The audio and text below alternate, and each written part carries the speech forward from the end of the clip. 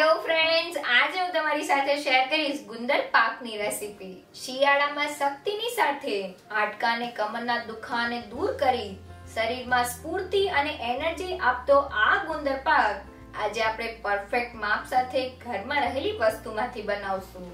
તો સૌથી સરળ રીતે શિયાળામાં બધા જ ગુજરાતી ઘરોમાં બનતો ગુંદર પાક બનાવવાનું શરૂ કરીએ. નવી રેસીપી શીખવા માટે નેહા કુકબુક ગુજરાતી ચેનલને સબસ્ક્રાઇબ કરો અને સાથે બેલ આઇકોનને જરૂરથી દબાવો નવા રેસીપી વીડિયો સૌથી પહેલા જોવા માટે. પરફેક્ટ માપ સાથે ગુંદ પાક બનાવવા આપણે સૌથી પહેલા ઇન્ગ્રીડિયન્ટનું માપ જોઈ લઈએ. તો માપ માટે તમે ઘરમાં રહેલી કોઈ પણ એક વાટકી સેટ કરી લ્યો અને તે વાટકી પ્રમાણે તમારે વન ફોર્થ કપ અને વજનમાં પચાસ ગ્રામ જેટલો ગુંદ લેવાનો છે. તો જે વાટકીથી ગુંદ લીધેલો છે તે વાટકીના માપ પ્રમાણે અડધી વાટકી અને વજનમાં પંચોતેર ગ્રામ જેટલું ઘી, સાથે અડધી વાટકી અને વજનમાં એકસો પચીસ ગ્રામ જેટલી ખાંડ, એક કપ અને વજનમાં એકસો પચીસ ગ્રામ જેટલો માવો અને વાટકીના માપ પ્રમાણે અઢી વાટકી, એટલે કે બે વાટકીની ઉપર અડધી વાટકી અને વજનમાં એકસો પચીસ ગ્રામ જેટલું મેં સૂકા કોપરાનું છીણ લીધેલું છે. તો છે ને, એકદમ સહેલું માપ. ગ્રામ્સમાં માપીએ તો આપણે ખાંડ, માવો અને નાળિયેર ત્રણેય સરખા પ્રમાણમાં એકસો પચીસ ગ્રામ જેટલા લેવાના છે. સાથે કાજુના ટુકડા, બદામના ટુકડા અને ફ્લેવર માટે એલચી પાવડર, જાયફળ પાવડર અને સૂટ પાવડર લીધેલા છે. હવે ગુંદર પાક બનાવવા માટે મેં અહીંયા જાડા તળિયાવાળું વાસણ રાખેલું છે. તેમાં સૌથી પહેલાં અઢી કપ અને વજનમાં એકસો પચીસ ગ્રામ જેટલું સૂકા કોપરાનું છીણ એડ કરી દઈએ. તો સૂકા કોપરામાં તેલનું પ્રમાણ હોવાથી કોઈ પણ જાતના ઘીના ઉપયોગ વગર લો ગેસની ફ્લેમ પર આપણે કોપરાને ડ્રાય રોસ્ટ કરી લઈએ, જેથી તેમાં રહેલો મોઇશ્ચરનો ભાગ વયો જાય. શિયાળામાં આપણી સ્કિનમાં ઓઇલનું પ્રમાણ ઓછું થવાને લીધે સ્કિન ડ્રાય થતી હોય છે.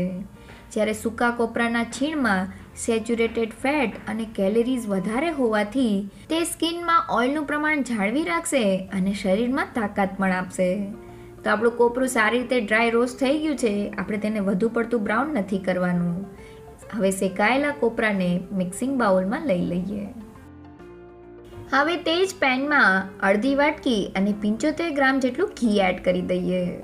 તો હવે ગરમ થયેલા ઘીમાં વજનમાં પચાસ ગ્રામ અને કપના માપ પ્રમાણે વન ફોર્થ કપ જેટલા ગુંદમાંથી થોડો ગુંદ ઘીમાં એડ કરીને તેને સારી રીતે તળી લઈએ.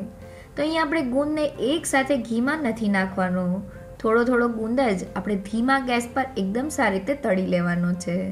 તો ગુંદ હાડકાને મજબૂત કરવાની સાથે શરીરમાં રોગ પ્રતિકારક શક્તિમાં પણ વધારો કરે છે. સાથે ગર્ભવતી મહિલાને ગુંદ ખવડાવવાથી તેનું બેકબોનના મસલ્સ એટલે કે કરોડરજ્જુના હાડકામાં મજબૂતાઈ આવે છે. અને ગુંદમાં એન્ટી એજિંગ પ્રોપર્ટી હોવાને લીધે તે સ્કિન માટે પણ ખૂબ જ સારું છે. તો આપણો ગુંદ એકદમ સારી રીતે ફૂલી ગયો છે. હવે ચમચાની મદદથી આ રીતના ઝારામાં ગુંદને લઈ લઈએ, જેથી વધારાનું બધું જ ઘી ગુંદમાંથી બહાર આવી જાય. તો હવે તળાયેલા ગુંદને ચેક કરીએ તો તમે જોઈ શકો છો કે એકદમ ગુંદ ભૂક્કો થઈ જાય છે. મીન્સ તે સારી રીતે તળાઈ ગયો છે. અને હવે તે રીતે મેં બધા જ ગુંદને તળી લીધેલો છે. તો હવે આ રીતની કોઈ પણ સ્ટીલની વાટકીની મદદથી ગુંદને સારી રીતે ક્રશ કરી લઈએ. તો ઘણી જગ્યાએ ગુંદ પાકમાં ગુંદને આખો રાખવામાં આવે છે. પણ ક્રશ કરેલો ગુંદ એકદમ સારી રીતે પાકમાં ભળી જાય છે અને જરા પણ દાંતમાં ચોટતો નથી. તો આપણો ગુંદ સારી રીતે ક્રશ થઈ ગયો છે.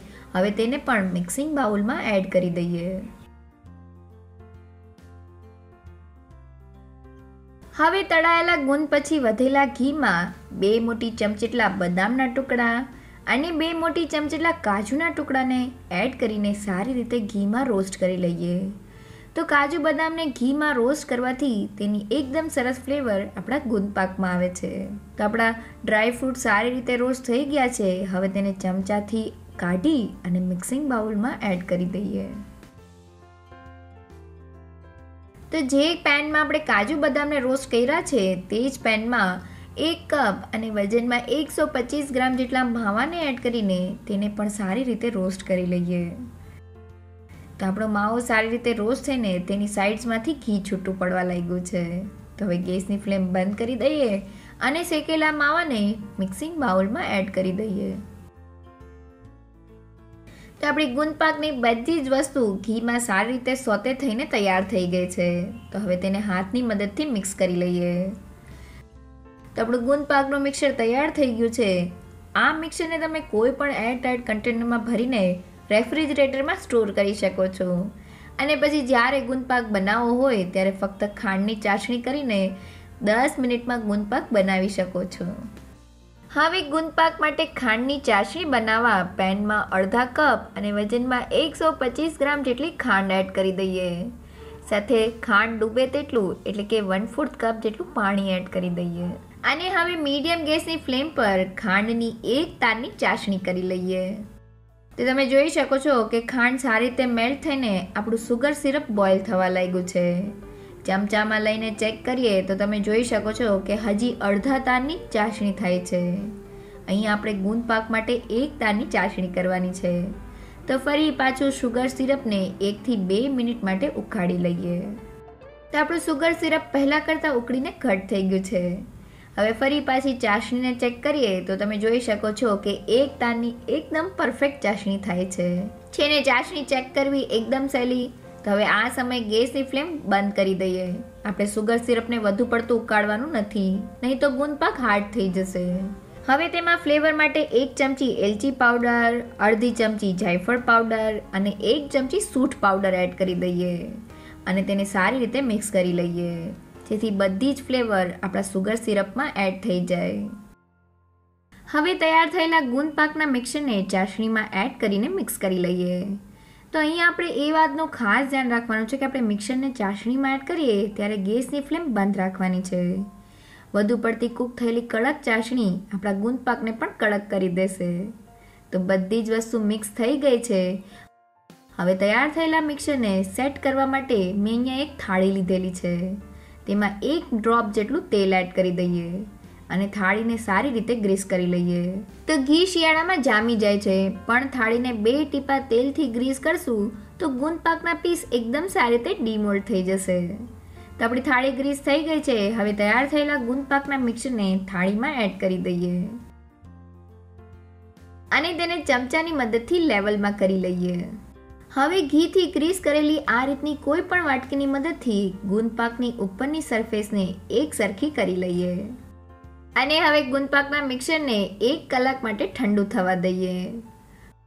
તો લગભગ એક કલાક થઈ ગઈ છે અને આપણું ગુંદ પાકનું મિક્સર ઠંડુ થઈ ગયું છે. હવે તેના પીસ કરી લઈએ. અને તૈયાર થયેલા ગુંદપાકના પીસને સર્વ કરી લઈએ. તો શરીરને તાકાતની સાથે રોગ પ્રતિકારક શક્તિમાં પણ વધારો કરે તેવો પરફેક્ટ માપ સાથે ગુંદપાક ઘરે બનાવવા માટે લખેલી રેસીપી જોતી હોય તો મેં વેબસાઇટની લિંક ડિસ્ક્રિપ્શન બોક્સમાં આપેલી છે. જો તમને મારી આજની રેસીપી ગમી હોય તો મને કમેન્ટ સેક્શનમાં જરૂરથી કહેજો. સાથે મારા વિડીયોને લાઇક અને ફ્રેન્ડ્સમાં શેર કરજો અને મારી ચેનલને સબસ્ક્રાઈબ કરવાનું ના ભૂલશો. તો ફરી મળીએ એક નવી રેસીપી સાથે.